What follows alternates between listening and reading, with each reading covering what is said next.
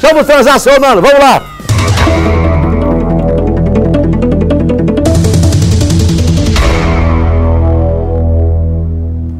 Afegãs estão prontas para quebrar barreiras. As mulheres da primeira orquestra feminina do Afeganistão buscam um novo destino através da música. A música, como vocês sabem o que é, é o alimento da alma. Seja feliz com a música. Veja aí.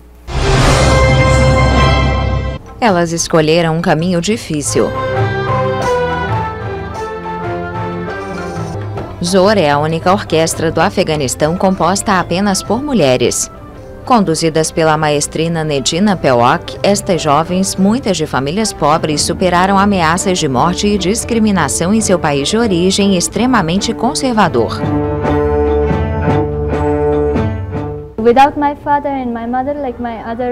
Além dos meus pais, nenhum outro membro da minha família me deixava frequentar uma escola de música. Meus tios criaram muitos problemas. Minha avó disse ao meu pai: se você permitir que ela vá à escola de música, você deixa de ser meu filho. O Afeganistão foi afetado por décadas de conflito. O chefe do Instituto de Música do país, Ahmad Sarmast, foi diretamente atingido. Ele foi ferido em um ataque mortal talibã em 2014. Afghanistan is closely associated outside Afghanistan with Kalashnikov, o Afeganistão é associado no exterior a Kalashnikovs, burcas, bombardeios suicidas. Mas isso não é tudo sobre o país. Nem todo afegão é membro do movimento talibã e nem todos violam os direitos humanos das mulheres.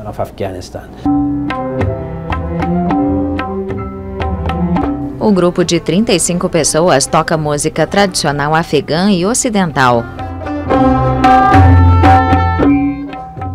A violinista Zarifa Adiba quer estar à frente da mudança em seu país.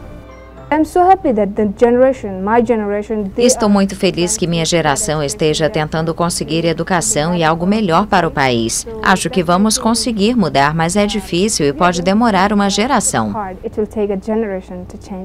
Uma turnê pela Europa é o destaque desse ano e inclui uma apresentação no Fórum Econômico Mundial em Davos. As mulheres da orquestra sonham em mudar atitudes dentro e fora do Afeganistão.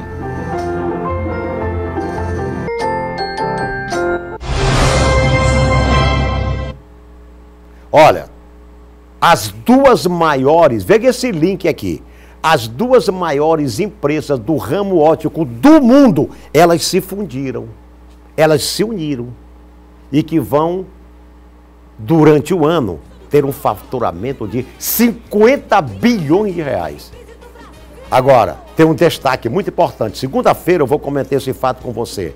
É que o nosso empresário, nosso querido amigo Arione Diniz, quase mil lojas no Brasil, quando saiu do Maranhão e jogou a ótica Diniz para o Brasil, sem dúvida nenhuma, criou essa perspectiva para que essas duas poderosas empresas do mundo que se fundiram, detalhe na segunda, pudessem, sem dúvida nenhuma, chegar até nós, ao nosso país.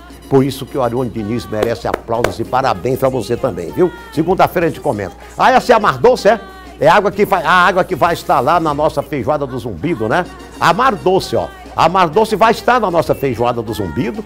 Eu quero agradecer ao Osório Filho, né? Que a Mar Doce tem uma indústria maravilhosa em Passo do Lumiar. Conheci na sexta-feira passada, fiquei fantasiado. Fantástico aquilo ali, muito fantástico. E a partir de fevereiro vai ser um parceiro nosso aqui na difusora que vai tomar aguinha todo dia com um copinho com a marca da Mar Doce. Não é legal? Que bom? Ok?